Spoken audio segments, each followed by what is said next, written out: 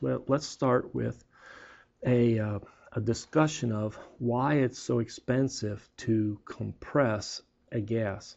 To understand that, you go back and you look at a pressure volume diagram. Okay? And if I have an ideal gas, it's a very large specific volume. And if I want to go from this pressure to that pressure, a specified pressure ratio, I compress it. Typically, I compress it S is equal to a constant isentropically, and I'm up there. Boom. All right. This is an open system, so we're flowing through a control volume. That's the compressor. And we're coming in at state 1, state 1, we're going out at state 2, state 2 over here, and the goal is for the pressure at 2 to be high. Well, we worked out that you have to supply the work per unit mass, or W dot per M dot, work per unit mass, is equal to the integral of V dP. Now, there's a minus sign because it's, but I'm going to ignore that minus sign, but it's the magnitude of the integral VDP. As a review, you take a look from calculus and you knew how to integrate f as a function of x. You start from x of a, you go to x of b, you have some curve like that, it's the area under the curve. That's the integral, integral of f dx, some value for that integral. Well, here, this always throws students for a loop because what's on the x-axis? v What's on the y-axis? P. So what they're doing is integrating dP to help make it make sense. Let me do a flip. Let me put P in the traditional X location and let me put V in the traditional Y location. And now let's see if we can figure this out. So we start with high at state one, it's large V, low P. There's state one. And we're going to low V, high P, there's state 2. So there is our curve flipped. Okay. And what we're interested in is the area under the curve. Okay. And that's a mag that that's a, a visual representation of the work. Let me try and draw it like this. D lowercase w the work per unit mass, the area under the curve. If I now have a liquid, a liquid, and the liquid specific volume of the liquid compared to the specific volume of an ideal gas, how, what, is one really large and one really small? So it's the volume occupied by a kilogram of liquid compared to the volume occupied by a kilogram of an ideal gas.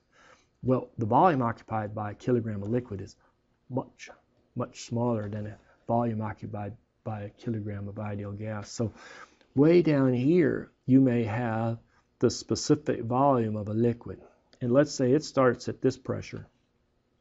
And if I want to boost the pressure, like in a pump, it's not going to compress it, but I'll have a pressure increase. So if I compare a pump right? And I come in like this. This is now a pump. This was a compressor. And I'm undergoing the same pressure change. What I find is that work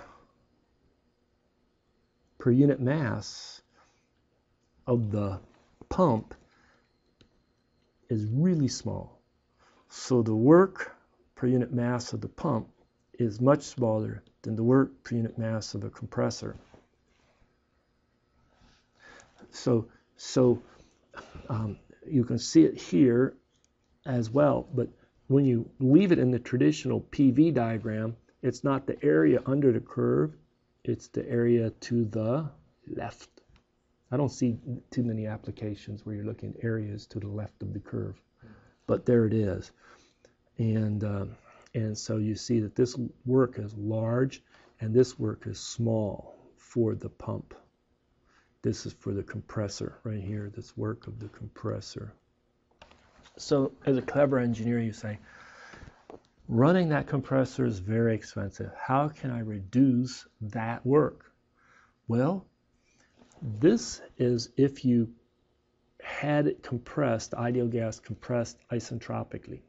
If you could compress it where the temperature doesn't change, where the temperature is constant, it actually would come out with a lower temperature at this temp at, at state 2. It would achieve the same pressure, but it would be lower because this temperature, um, let's say you this this is temperature 2 would equal to the temperature 1 if it was actually compressed isothermally. Um, this temperature T2S is greater than T1. So the goal would be, oh, well, if you cool it as you're compressing it, it would be require less work. But to have that a device, usually a heat exchanger is a poor compressor, and a, poor, a, compressor is not a very good heat exchanger. So what they do is they say, let's do it in stages. We'll compress to this pressure level. We'll do it isentropically and then stop. Then we'll cool it back to the temperature of state one, and then we'll compress it isentropically. And so this is now the amount of that shaded area is a visual representation of the work saved by having two stages of a compressor, stage one and stage two, and in between, cooling. So in between, right here, you have a intercooler. Intercooler. Okay?